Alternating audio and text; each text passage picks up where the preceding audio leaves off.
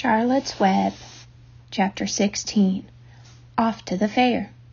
The night before the county fair, everybody went to bed early. Fern and Avery were in bed by eight. Avery lay dreaming that the Ferris wheel had stopped and that he was in the top car. Fern lay dreaming that she was getting sick in the swings. Lurvy was in bed by eight thirty. He lay dreaming that he was throwing baseballs at a cloth cat and winning a genuine Navajo blanket. Mr. and Mrs. Zuckerman were in bed by nine. Mrs. Zuckerman lay dreaming about a deep freeze unit. Mr. Zuckerman lay dreaming about Wilbur. He dreamt that Wilbur had grown until he was 116 feet long and 92 feet high, and that he had won all the prizes at the fair and was covered with the blue ribbons and even had a blue ribbon tied to the end of his tail. Down in the barn cellar, the animals, too, went to sleep early, all except Charlotte. Tomorrow would be fair day. Every creature planned to get up early to see Wilbur off on his great adventure. When morning came, everybody got up at daylight. The day was hot. Up the road at the Arable's house, Fern lugged a pail of hot water to her room and took a sponge bath. Then she put on her prettiest dress because she knew she would see boys at the fair. Mrs. Arable scrubbed the back of Avery's neck and wet his hair and parted it and brushed it down hard till it stuck to the top of his head all but about six hairs that stood straight up. Avery put on clean underwear, clean blue jeans, and a clean shirt. Mr. Arable dressed, ate breakfast, and then went out and polished his truck. He had offered to drive everybody to the fair, including Wilbur. Bright and early, Lurvy put clean straw in Wilbur's crate and lifted it into the pig pen. The crate was green. In gold letters it said, Zuckerman's Famous Pig. Charlotte had her web looking fine for the occasion.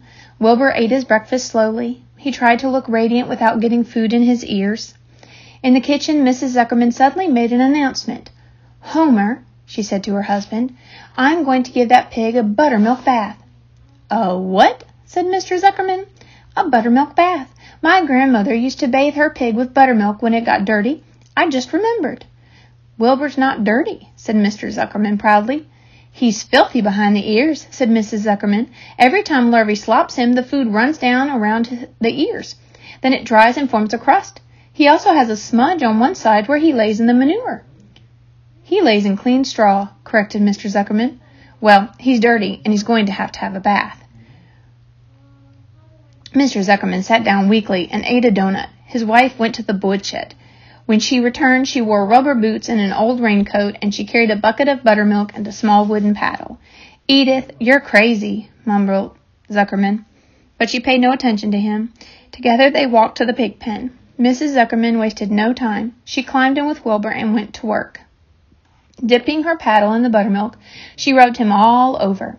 The geese gathered around to see the fun, and so did the sheep and lambs. Even Templeton poked his head out cautiously to watch Wilbur get a buttermilk bath. Charlotte got so interested she lowered herself on a dragline so she could see better. Wilbur stood and closed his eyes. He could feel the buttermilk trickling down his sides. He opened his mouth and some buttermilk ran in. It was delicious. He felt radiant and happy. When Mrs. Zuckerman got through and rubbed him dry, he was the cleanest, prettiest pig you ever saw.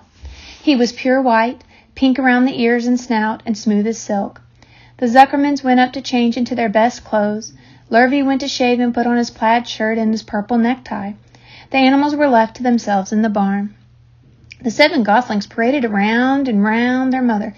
Please, please, please, take us to the fair, begged the gosling. Then all seven began teasing to go. Please, please, please, please, please, please. They made quite a racket. Children, snapped the goose, we're staying quietly, idly, idly at home. Only Wilbur, Ilber, Ilber is going to the fair. Just then Charlotte interrupted. I shall go too, she said softly. I have decided to go with Wilbur. He may need me. We can't tell what may happen at the fairgrounds. Somebody's got to go along who knows how to write. And I think Templeton better come, too. I might need somebody to run errands and to do general work. I'm staying right here, grumbled the rat. I haven't the slightest interest in fairs. That's because you've never been to one, remarked the old sheep. A fair is a rat's paradise. Everybody spills food at a fair. A rat can creep out late at night and have a feast. In the horse barn you will find oats that the trotters and pacers have spilled. In the trampled grass of the infield you will find old discarded lunch boxes containing the foul remains of peanut butter sandwiches, hard boiled eggs, crapper, cracker crumbs, bits of donuts, and particles of cheese. In the hard packed dirt of the midway, after the glaring lights are out and the people have gone home to bed, you will find a veritable treasure of popcorn fragments, frozen custard dribblings, candied apples abandoned by tired children, sugar fluff crystals, salted almonds, popsicles, partially gnawed ice cream cones, and the wooden sticks of lollipops. Everywhere is a loot for a rat. In tents, in booths, in haylofts. Why, a fair has enough disgusting leftover food to satisfy a whole army of rats. Templeton's eyes were blazing. Is this true? he asked. Is this appetizing yarn of yours true? I like high living, and what you say tempts me.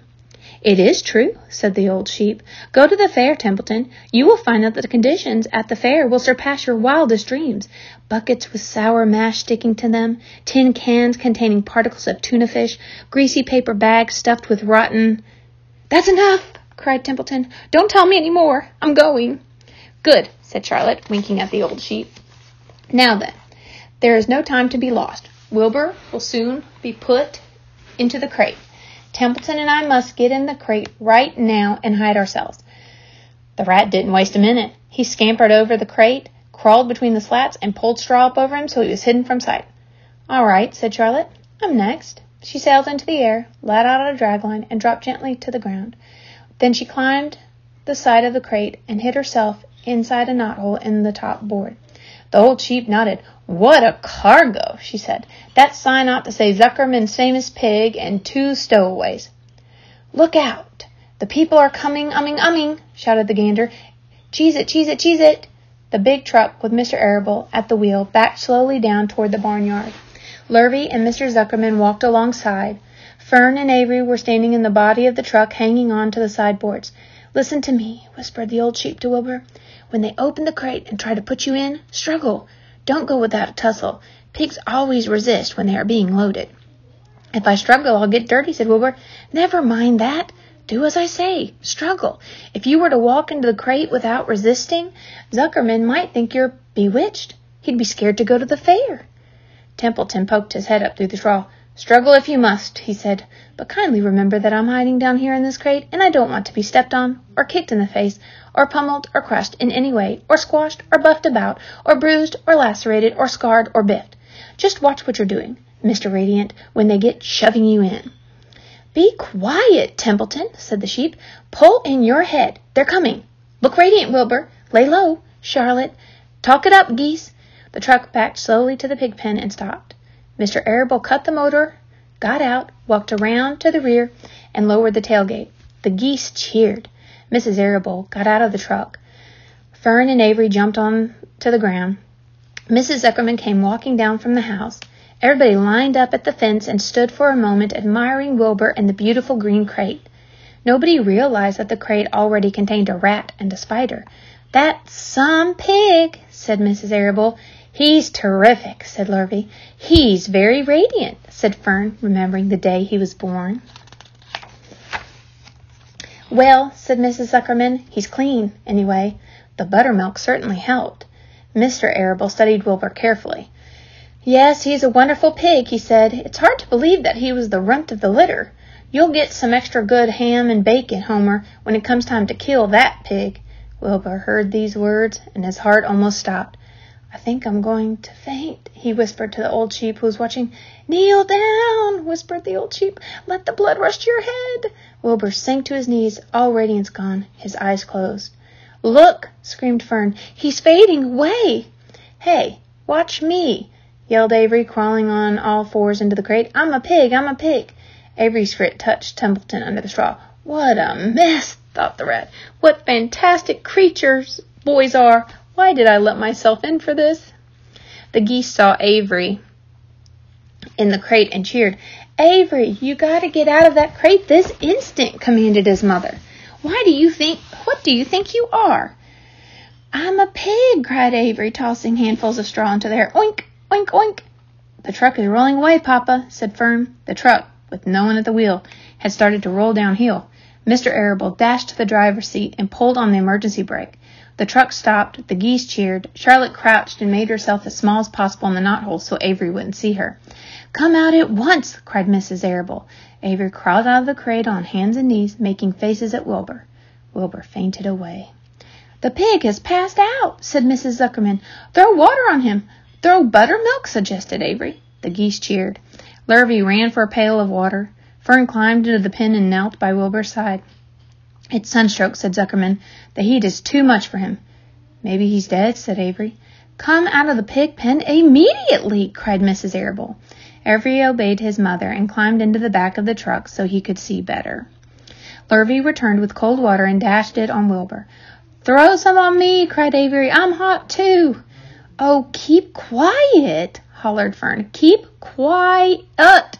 Her eyes were brimming with tears. Wilbur, feeling the cold water, came too. He rose slowly to his feet while the geese cheered. He's up, said Mr. Arable. I guess there's nothing wrong with him. I'm hungry, said Avery. I want a candied apple. Wilbur's all right now, said Fern. We can start. I want to take a ride in the Ferris wheel. Mr. Zuckerman and Mr. Arable and Lurvy grabbed the pig and pushed him head first toward the crate. Wilbur began to struggle. The harder the men pushed, the harder he held back. Avery jumped down and joined the men. Wilbur kicked and thrashed and grunted. Nothing wrong with this pig, said Mr. Zuckerman cheerfully, pressing his knees against Wilbur's behind. All together now, boys, shove! With a final heave, they jammed him into the crate. The geese cheered. Lurvy nailed some boards across the end so Wilbur couldn't back out. Then, using all their strength, the men picked up the crate and heaved it aboard the truck. They did not know that under the straw was a rat, and inside a knothole was a big gray spider. They only saw a pig. Everybody in, called Mr. Arable. He started the motor. The ladies climbed in beside him. Mr. Zuckerman and Lurvy and Fern and Avery rode in back, hanging on to the sideboards. The truck began to move ahead. The geese cheered, the children answered their cheer, and away went everybody to the fair.